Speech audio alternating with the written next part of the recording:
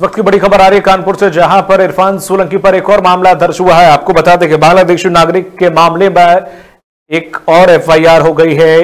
इरफान सोलंकी पर, इरफान सोलंकी की मुसीबतें कम होने का नाम नहीं ले रहा है और बांग्लादेशी डॉक्टर रिजवान को लेटर हेड देने में फंसे हैं इरफान। आपको बता दें कि डॉक्टर रिजवान की पहचान की तस्दीक और रिजवान से पूछताछ के बाद इरफान को बनाया गया है आरोपी। विधायक ने हर संभव सहायता भी की थी।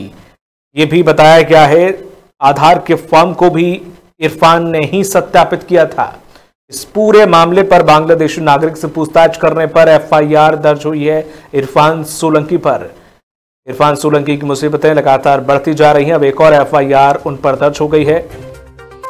बांग्लादेशी डॉक्टर रिजवान को लेटर हेड देने में फंसे हैं इरफान सोलंकी।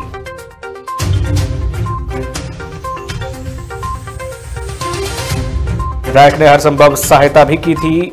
आधार के फॉर्म को भी इरफान ने ही सत्यापित किया था।